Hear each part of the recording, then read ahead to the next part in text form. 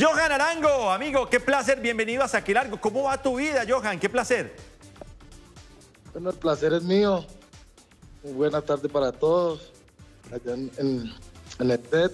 Bueno, no, contento pues de estar viviendo un gran momento en mi carrera. Y pues con esto que está pasando con el coronavirus, se, se separa un poco y bueno, pero disfrutando de mi familia, viendo crecer la barriga de mi esposa y, y muy contento. Qué bien. Eh, no Bueno, sabía que bueno. estabas esperando bebé, Johan, hombre, qué alegría. Eh, ¿Cuánto tiempo Sí, tiene sí, tu sí. esposa, hombre? Ya los tiempos de locura pasaron atrás. ¡Epa! Sí. O, Ojo, sea, eso- o sea que ya no te puedo volver a narrar un gol como a mí me gusta la parranda. Ya no te puedo narrar así. O sea, es titular, ¿eh? Los tiempos de locura ya pasaron. Los tipos, venga, ¿sabe? Johan, recuerdo cuando, cuando te hice ese relato, ya voy con los muchachos, en redes sociales, mucha gente me decía, sos un irrespetuoso, ¿cómo vas a hacer eso? Y después del partido, me llamaste tú, tú me escribiste y me dijiste, Eduardo, me hiciste reír, buenísimo, me encantó. O sea, en realidad tú lo tomaste súper bien, porque además conoces lo que yo hago, que es un poco más jocoso. ¿Recuerdas ese momento del gol que hiciste con Santa Fe y te lo relaté así, Johan?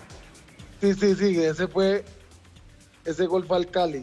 Ah, Me acuerdo tanto de cabeza, tú lo relataste así, pues yo no, no, no lo tomé, no lo vi mal, pues.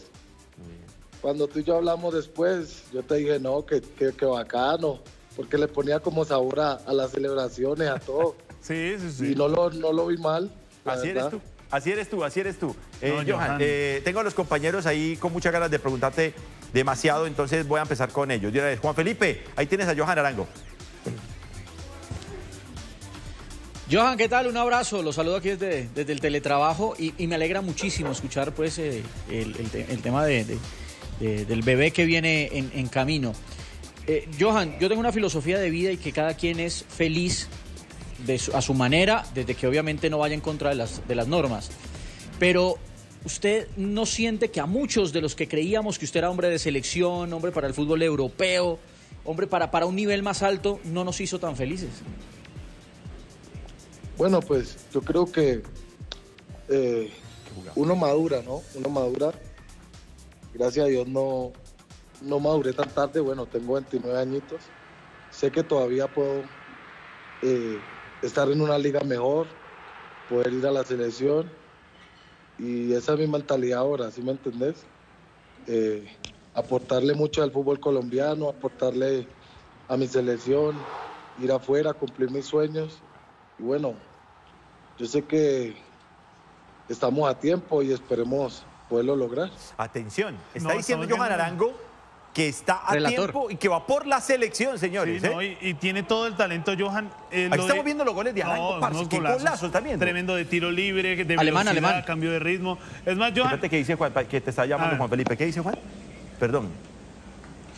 No, no, una cosa, Johan, eh, no, no sé si le han contado, eh, yo, yo sí le voy a pedir a usted la camiseta de frente, hermano, porque es que en, en una pretemporada de esas que usted hizo con Santa Fe, en un torneo pretemporada, eh, Alemán y yo, Sí. yo lo dije, Alemán me acompañó, dijimos, si sigue así, juega así el campeonato, es hombre de Selección Colombia.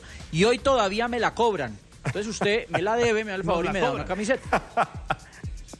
Sí, claro, de una, de una. ¿La de Binacional? Juan, ¿te sirve? Sí, oiga, pero yo Sí. también, eh, Johan, Sí, yo también se coleccionan. porque yo también lo dije, yo también... Pues como estas dos camisetas, no, Sí, tampoco no, van a así. vamos a pero- cobrar todos, todos vamos a ¿cuántas, cobrar. cuántas, Bien. cuántas camisetas quiere que mande? Vamos a ¿Cuántas una cosa? Johan. Una para Alemán está pidiendo, una para Juan Felipe y una para el programa, los televidentes. Sí, qué pena con el abuso, ya que estos manes me pusieron así. Tocó tres, Vale, hermano. vale, tranquilo, las tres las hago llegar. Ah, este es un crack.